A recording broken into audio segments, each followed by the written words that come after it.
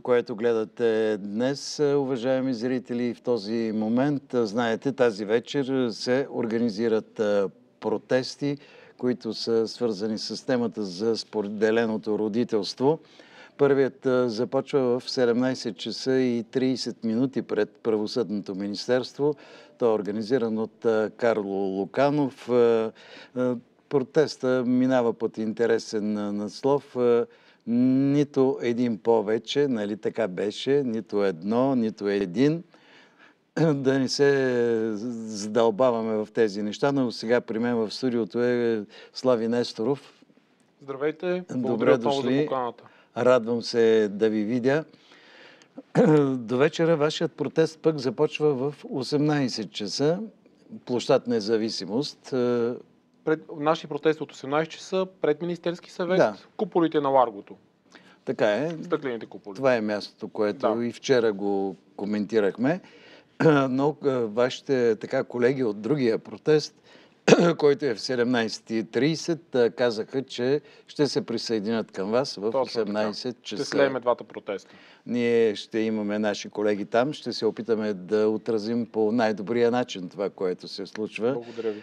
На какво се надявате, господин Несторов? Защото много протести имаше през годините и като че ли почти нищо не се случва след тях. Силно се надявам реформата да стане факт. Силно се надявам управляващите да видят проблема и да се спре неглижирането. Mm-hmm.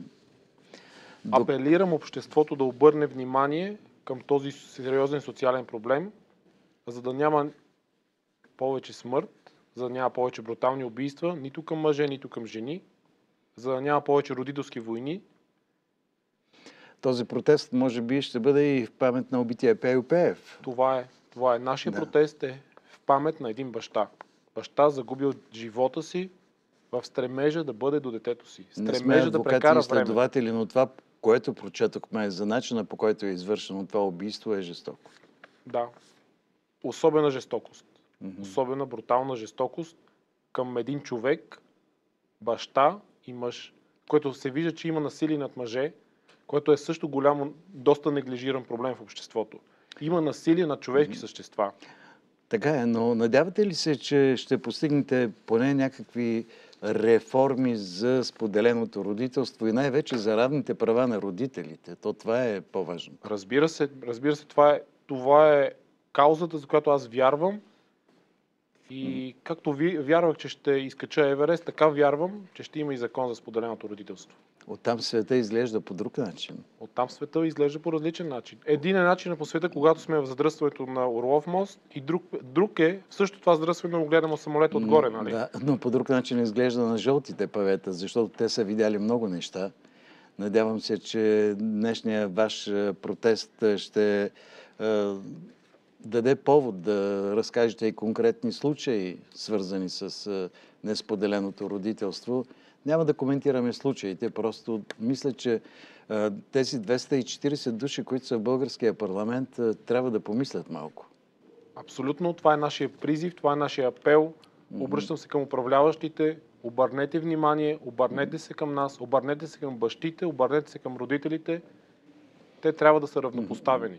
Ако Обществото е динамично да... и променливо да. и ние желаем те да бъдат равнопоставени. Ако искат да ви подкрепят, да така да кажа още веднъж, че протестът е площад независимост пред стъклените куполи, около тях. На стъклените куполи, да. пред Министерски съвет. Да, точно така. Си да. пак това е площад независимост. Да, да точно така. да видим какво ще стане с този случай, но аз искам дали можем днес да говорим за така особено сериозна дискриминация на един от родителите? Можем. Можем, разбира се. Закона, за съжаление, е направен така, че бащата няма право да бъде до детето си. Бащата е дори когато има отсъдени родителски права, след като има раздяла при родителите или при двойките, бащата бива изключен от семейната структура, той няма право да взима решение за бъдещето на детето, няма право дори да избере как то да бъде облечено, къде, коя детска градина да бъде, какъв спорт да посещава той не присъства в живота и в израстването на това дете и на тази личност и на това бъдеще за тази държава. Да, вие протестирахте и в края на декември, настоявахте за законови промени. От тогава до сега някой обърна ли ви внимание? Ами тук имаме добра новина. А, получихме покана от страна на правителството, поканиха, поканиха ни другата след, следващата седмица на кръгла маса. Да. И с радост ще ви, след това ще с радост ще съобщя какво се е разисквало там. Вие сте основател на тази фундация за споделено родителство. А, имате ли представа колко мъже в България имат подобни проблеми? Информацията, която имаме статистиката, че има над 300 хиляди двойки и да. над 50 хиляди деца страдат от родителско отчуждение, което означава, че поне 50 хиляди човека има такъв проблем. Защото аз си мисля, че вашата цел е не само протеста, но да информирате най-вече обществото, че това е част от живота на много хора, които живеят в е, непрекъснат стрес. Всяко пето дете, както ние сме казали, това е една, това е една статистика, която се позоваваме, всяко пето дете страда. Това никак не е малко. Това са 20% от следващото поколение. От бъдещето на страната, всяко пето дете, всеки пети човек страда. Да. Всеки, той е в не, неравностойно положение спрямо другите деца. Заслужава ли тези деца, които са на разделени родители, да бъдат в неравностойно положение? Заслужават ли те друго бъдеще? Заслужават ли да растат без майка и баща? Обаче ние трябва да се научим и за нещо друго. Да не се говори пред детето лошо за другия партньор. В никакъв случай. Независимо, че са разделени. Аз наистина апелирам за максимално добро отношение, защото децата имат една майка и един баща и те са най-добрите. И ние нямаме право да говорим пред децата, че другия родител е лош. По този начин изкривяваме детската психика, която е много крехка. Знаете колко е крехка психиката на едно детенце? То попива като гъба, то попива всяка една информация и за съжаление неговия мозък няма, не може да обработи тази емоция. Това е престъпност от страна на родителя, ако говори да. спрямо, лошо спрямо другия родител. Така е, но има и нещо друго, че когато се говори за споделено родителство, трябва и двамата родители да се съобразяват и с желанията на самото дете. Разбира се. Защото не може да му се каже, ти повече няма да виждаш майка си, няма да виждаш баща си и толкова. Тук има синдром на родителското отчуждение, който е да. е много сериозен и едно дете може да бъде манипулирано. Mm-hmm. Фактите показват и, и трудовете на големите психолози и великите психологи показват, че едно дете може да бъде отчуждено от другия родител, когато е до 5, до 5 годишна възраст, в рамките на две седмици. Да. Тоест за две седмици може да бъде да му промене, така да му бъде променена психиката, че то да не възприеме другия родител като такъв. А има родители, които с месеци и с години не, не са си виждали децата. Да, наскоро, т.е. днес видя, а, се запознах с баща, който не е виждал детето си от 102 дни и той си ги брои Представете си каква травма е. Това е малко, нали знаете колко е гадно броенето в казармата, как да, бавно да. минават дните. Да, Представете си колко е тежко за този човек, който казва точно, не казва 3 месеца, да. 8 седмици, 102 дни. Защото, защото аз съм го изпитвал. Аз миналата година не виждах децата си и не прекарвах време с тях 5 месеца. Колко деца имате? Две. Как решихте проблема? Ако не е тайна, защото е Не го реших. Имам в момента, изпълняват се привременни мерки и на база на привременните мерки аз съм така наречения неделен баща и виждам децата си два пъти в месец. За по един ден или два? За два дни. За по два дни. Тоест 4 дни от месеца имам възможност да прекарвам време с тях. И това е в 99% от случаите на бащите. Те са неделни бащи. Това означава, че те нямат достатъчно време да присъстват в живота на детето си. Аз не съм изключение. Тоест, аз съм абсолютно както останалата маса. Така, това беше, аз да. като видях колко е мащабен, сериозен този социален проблем, затова реших да, да учредя фундацията и да започна да се боря за това нещо. Ами, трябва да се избират внимателно, според мен, и разговорите, разправиите, които се водят с другия родител, защото детето попива всичко. И точно тези моменти остават неговото съзнание. Според мен, съзнанието на всеки родител, на всеки един от нас трябва да бъде... Да. Трябва да първата мисъл е да бъде за доброто на детето. Mm-hmm. Тоест да се избегне егото и родителската война за доброто на детето. А т.е. мисълта да бъде какво може да направим по-добре за него. Mm-hmm. Добре, вие познавате, може би сте запознат с някои стратеги... стратегии за добро споделено родителство. Абсолютно.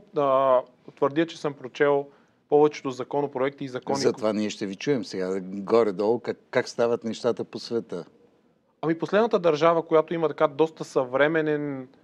Защото всяка една държава, която приема, всяка нова държава добавя нещо, за, mm-hmm. защото да видява проблемите. И една от последните държави е Гърция, която от преди две години да. имат закон за споделено родителство. И там е това, което аз съм казал и в наши минали предавания, е, че детето, да, родителите разделя детето 50 на 50 юридически, т.е. двамата заедно взимат решения за бъдещето на детето, училище, спорт и така нататък. И физически детето трябва да прекарва минимум 35% от времето си с един от двамата родители. Това е доказано, че има достатъчно присъствие и на двамата родители в живота на детето. Да. А, имаше идеи за споделено родителство 50 на 50. Това работещ вариант ли? Абсолютно. Също е работещ вариант, но нека да сложим минимум. Да. Пък след това това зависи от родителите. Ако родителите...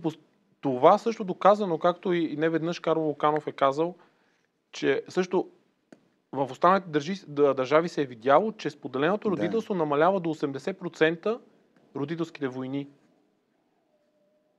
Ние искаме да направим реформа за добрите. Искаме да направим реформа за хората, които искат да присъстват в живота на децата си. Ние не искаме да направим реформа за насилниците. Искаме да направим тази реформа за тези, които искат да бъдат там и да участват в изграждането на този характер, на този млад характер, на това детенце. Карло Луканов каза нещо много интересно за съдебната реформа, която трябва да, да разглежда тези случаи. Трудно се променят неща, нещата и той знаете ли какво каза? Тя е като голям кораб, трудно завива, но вие трябва да се борите. Ние ще осигуриме течението то да завие, да. ще му дадем бурята в платната нека и вятъра да е в платната, нека да завие. Течението, да.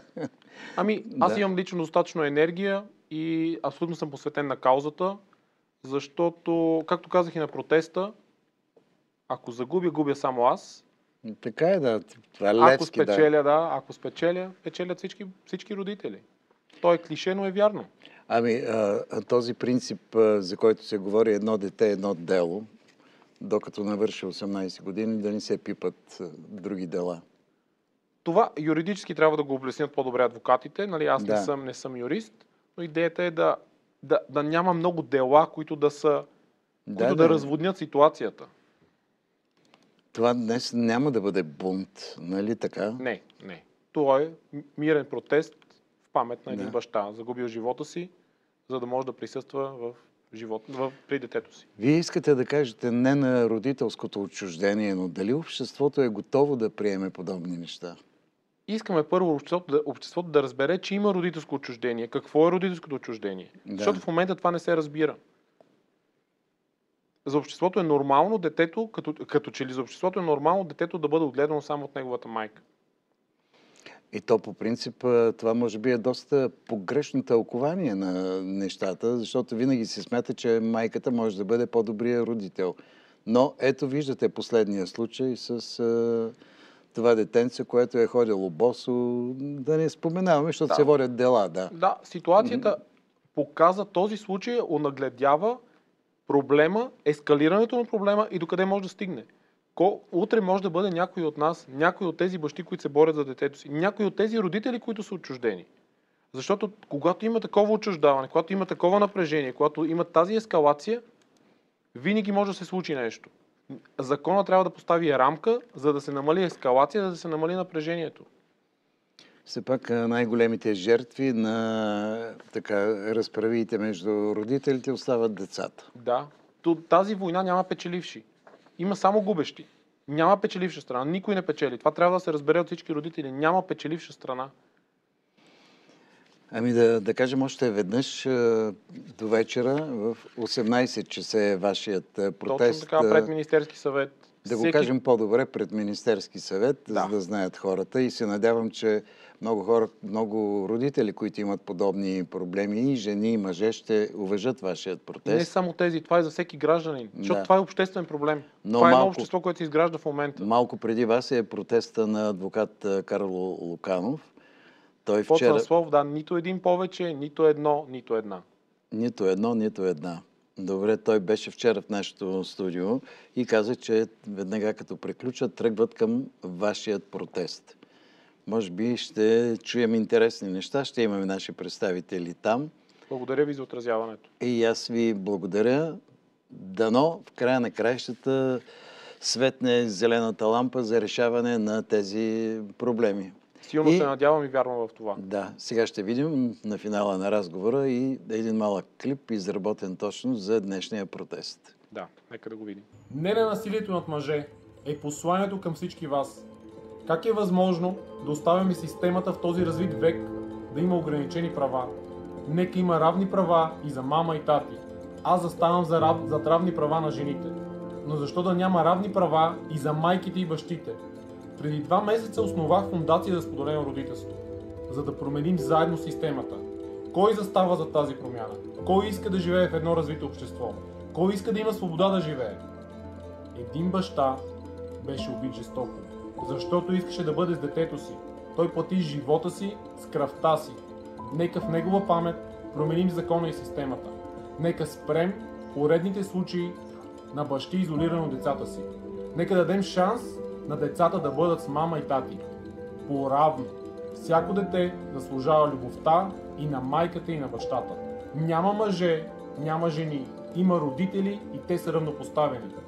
Всички страдат, когато една система не работи. Включете се в протеста памет на един баща. Нека заедно променим закона в името и памет.